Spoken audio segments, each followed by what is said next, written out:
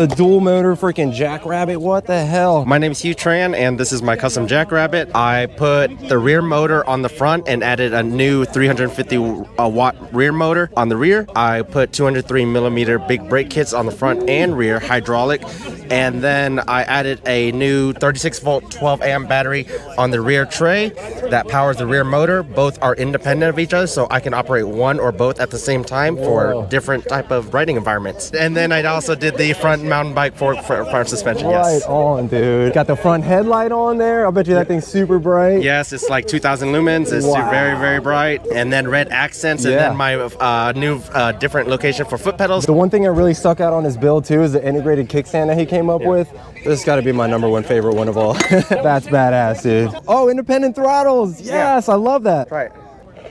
What? The front peel's out. Yo! Yo,